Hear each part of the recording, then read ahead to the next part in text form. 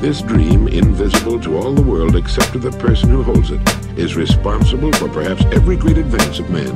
It's the prime cause of much of what we see in the world around us. Everything worthwhile achieved by man is a dream come true, a goal reached. It has been said, what the mind of man can conceive and believe, it can achieve. Success is the progressive realization of a worthy goal. It means that any person regularly engaged in achieving something which he considers worthy of him is successful. The secret to real happiness is progress.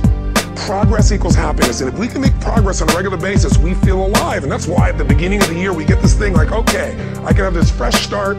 I can really do what my soul desires. I could expand. I could grow. I could improve. I could change. Or maybe better than change, I could progress.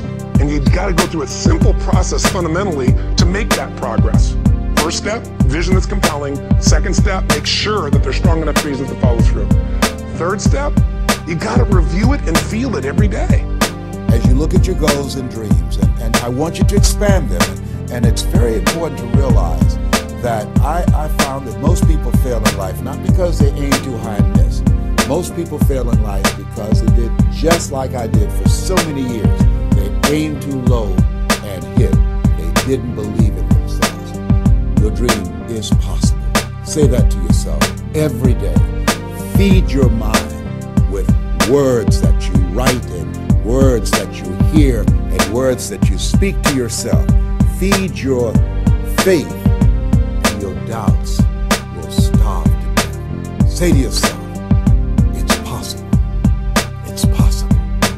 Every day, it's a selling job on you. It's possible. I can do this. I can make this happen. No matter how bad it is or how bad it gets, I'm going to